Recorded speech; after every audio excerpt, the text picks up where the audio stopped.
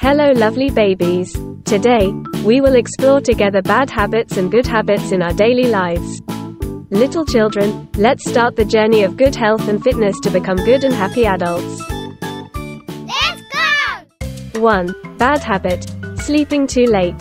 When your baby often stays up late and goes to bed late, it will cause fatigue and poor concentration the next day.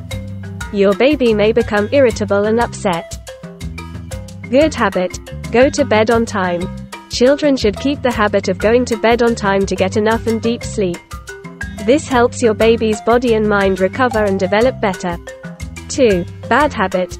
Eating lots of sweets and fast food. Eating too much sweets and fast food is not only harmful to your baby's health, but also damages teeth and causes weight gain. Good habits. Balanced eating. Children should eat lots of vegetables and fruits to provide nutrition for the body. Eat a balanced diet and avoid sweets to maintain good health.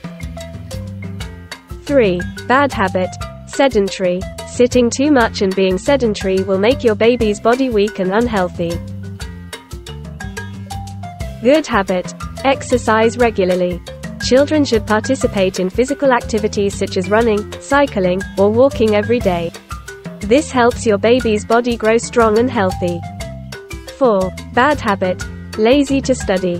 When children procrastinate studying or do not do their homework on time, this can lead to poor academic progress and difficulty taking exams.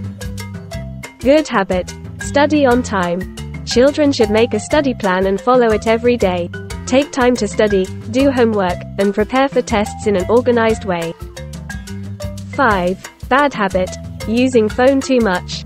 Using phones or computers too much can reduce your child's concentration on schoolwork and harm his eyes. Good habit. Limit the time you use your phone.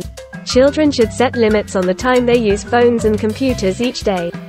Spend time playing outdoors, reading, or engaging in creative activities instead of sitting in front of a screen all day.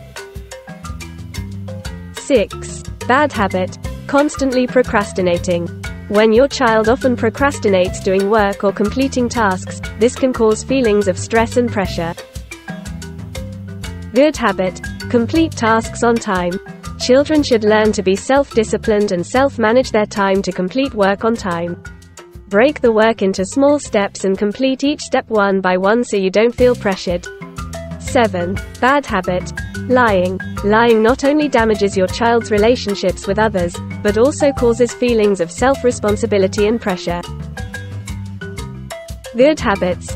Honesty and respect. Children should always tell the truth and respect others. Learn how to resolve conflicts and confront problems honestly and politely.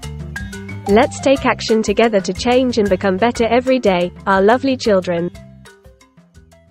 Like and subscribe Children's Farm for more.